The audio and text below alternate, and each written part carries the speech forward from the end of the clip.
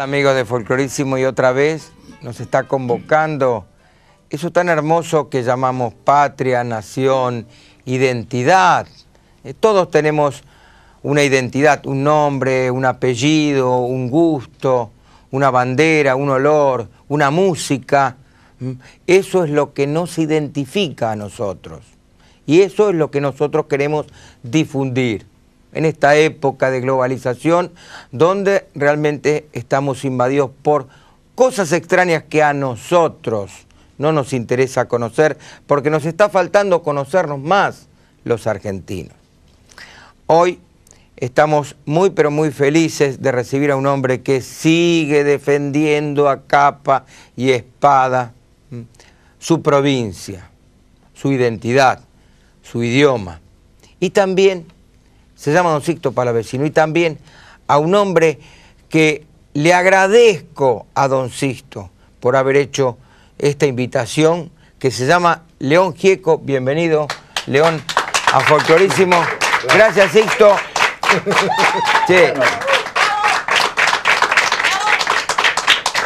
No sé si, bueno, darle las gracias a León, porque nosotros hace mucho ya siempre hacemos nuestros encuentros. Eh, eh, bueno, cuando yo canto en Quichua, él solía traducir. Y él les decía, ¿no? Pero les avisaba. Quichuizar, el primer profesor, porque sería, mirá si, si logramos que León vaya a la Universidad de Santiago del Estero a aprender quichua por primera vez eh, recibo, viene un muchacho y me dice, hay un llamado telefónico, ¿quién, quién, este León Hijo? ¿Y quién es ese? Eh, yo no lo conocía nunca. Entonces dice, dentro de media hora si usted lo puede atender. Sí, bueno, vamos, yo no tengo teléfono aquí, le digo, estaba en mi trabajo. Y bueno, fuimos y llamó él y me dice, que deseo que sea mi invitado especial en mi recital que voy a hacer en Santiago del Estero, tal fecha. Y yo quedé medio mudo. ¿Cómo voy a hacer un rockero y yo qué hago con mis chacareritas? Y dicho encima. Y bueno, entonces pienso un poquito y le digo, puede ser. Así empezamos. Y bueno, llegó la fecha y allí, yo que la noche de la actuación temblaba como, como hojita con el viento. Y, digo, los chicos, los jóvenes me van a correr, aquí a silbidos. Y bueno, abrió él eh, con su con su actuación y me largó a mí. Y yo temblando no podía ni, ni, cantar. Pero los chicos, la juventud, nos recibieron igual que a él. Ahí está, él es testigo. Entonces me volvió, bueno, ya eh, estuve corajudo. Y, y había para otra, para otra vuelta de, que entre la gente, ¿no es cierto, León? Afuera, esperando porque no entraban más. Claro, hicimos otra, otra función. Otra función más se hizo. La rompieron. Eh, y después, bueno, después tuvimos la oportunidad, ¿se acuerda, Sisto, de tocar en, como en el año 85, 84, 85, tocamos en un gran festival que hubo en, la cancha de Vélez Arfiel, este, en donde participaba Mercedes Sosa, Milton Nacimiento y León Gieco. Y yo me presenté con una banda acompañado por Sisto. Y me acuerdo que todo el estadio, que había casi 50.000 personas, este, gritaban Sixto, Sixto. ¿no? Eso fue realmente maravilloso. A mí me, encantó porque este, la recepción que tuvo Sixto, este, esa luz que él tiene, eh, iluminó a todo el estadio y el estadio se entendió eso. ¿no? Y, la otra vez que fue una cosa muy emocionante fue cuando yo invité a tocar acá a un gran patriarca de la música folk norteamericana que se llama Pete Seeger es el maestro de Bob Dylan, el maestro de John Baez, y también lo invité a Sixto. Y el corolario se dio en, la tercera función del ópera, donde eh, tocamos junto Guantanamera, Sixto y Pete Seeger, y Pete Seeger le regaló una flor a don Sixto. Eso fue realmente una cosa gloriosa. O sea, todas las cosas que hemos hecho, Sixto, siempre fueron históricas. Bueno, gracias a León. Gracias a usted, ¿no? Gracias a León he podido yo llegar a, la juventud, a los chicos, así como decíamos, 50 mil, 70 mil en la cancha de Boca. Sí, ah, bueno, en el cancha de Boca también eh, tocamos. Ahí tocamos, ahí tocamos con Pablo Milanés y Chico Huarque. Claro, y ellos querían... Eh, en los camarines me, atajaban, eh, nos va a pasar chacarera. Sí, chico, chico. Y vamos a, vamos a, para tocar como lo hace con León. Deseaban hacer como hacemos con León, juntos. Y, bueno, pero no había tiempo. Claro, lo que pasa es que Chico Huarque, cuando lo escuchó tocar, eh, le encantó, y a Pablo Milanés también. Entonces fueron al camarín y le dijeron, bueno, sí, ustedes nos tienen que enseñar a nosotros cómo hace para tocar el violín. Eh, claro, ellos los que estaban hablando era no, no, no de la perfección que él usa para tocar el violín, sino el estilo que tiene para tocar el violín. Eso yo le dije a Chico y a Pablo, eso no lo van a lograr nunca, muchachos. olvídense, olvídense, eso es, personal de Sixto. Sachero, después llegar a, enseñar cómo maneja el arco y cuáles son las notas, pero el estilo no se lo va a pasar nunca porque es imposible. Y yo, bueno, hago todo incorrecto, porque a mí me regalaron, dice, no tienes que usar mentonera, a ver cómo es, y me lo colocaron, y me pongo, me quedo para otro lado el violín. No, no, le digo, saqué, le entregué, digo, yo sigo como, como toco yo nomás, así, peladito nomás. Qué increíble. ¿Van a hacer algo juntos? Bueno, eh, vamos a, cantar eh, una versión que hizo Sisto.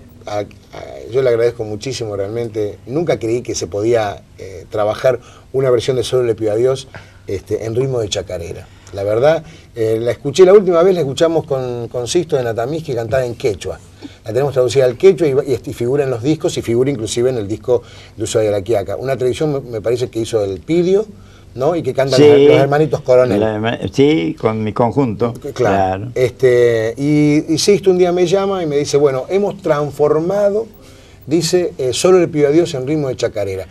Yo dije, bueno, Sisto, ya usted ya puede ser cualquier cosa. Eh, no te olvides que Asisto fue la primera persona que escuchó la holofonía.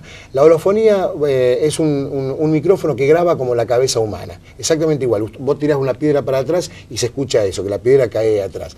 La escuchó antes que Michael Jackson, que eh, Spielberg y antes que el grupo Pink Floyd, que son los tipos que usan ahora la holofonía con la cual grabamos Ushuaia La Quiaca, porque el inventor es un argentino y, usamos el micrófono para grabar de Ushuaia La Quiaca. ¿Y por quién la escuché? Por León Gieco. Claro, bueno, pero Cito fue el primero en escucharla. Así que ah, cuando y entonces el otro día le mostré, ¿te acordás que yo estaba contando? Este, le mostré a Sisto, eh, porque él se merece saber todas esas cosas, este, le mostré cómo se ve la música que él toca. Recibió, ¿no? Lo que yo le. Sí, lo tengo. Ahora voy a llevar a Santiago. vean. Miren cómo, vean, vamos a escucharme. Vean la música. claro, porque el audio en la computadora se ve una cosa. Entonces le dije a Sisto que le íbamos a mostrar eh, cómo era, cómo se ve la música que él hace. Así que ya Sisto ya, ya sabe. ¿Para qué siga componiendo nuevas canciones? Porque él es un adelantado en esas cosas y compone nuevas canciones permanentemente, ¿no? Sí, Imagínense, le ha hecho una canción a, la Fundación a, Favalor. Eso es increíble, ¿no? O sea, es una cosa para aplaudirlo. En, en vida le hice yo cuando estaba operado yo ahí eh, y él le hice llegar todavía no profesional, ¿no? Un cassette escuchó y le mandé la letra también por fax y me llamó por teléfono ya, claro, yo había ido de alta en Santiago del Estero agradeciendo y muy contento. Y mire lo que nos ha pasado. Se nos ha ido, caramba. Bueno, vamos a ver esa versión de, de Chacarera. De Ajá, bueno, la Chacarera yo había, yo, yo le decía pariente de Chacarera. Claro, pariente, de pariente de Chacarera. Un nuevo estilo.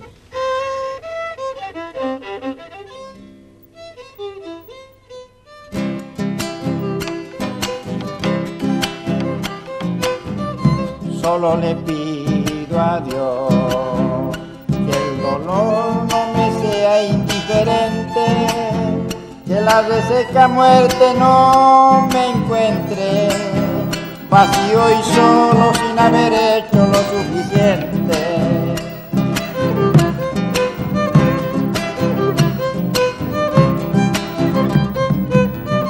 Solo le pido que lo injusto no me sea indiferente, que no me abofete en la otra mejilla, después de que una garra me arañó esta suerte. Solo le pido a Dios que la guerra no me sea indiferente, es un monstruo grande y pisa fuerte toda la pobre inocencia de la gente.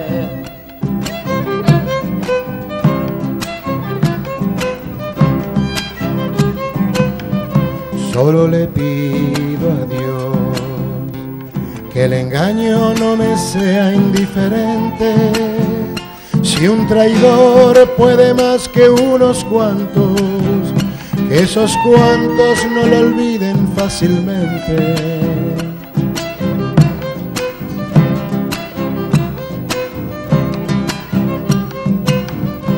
Solo le pido a Dios que el futuro no me sea indiferente desahuciado está el que tiene que marchar a vivir una cultura diferente.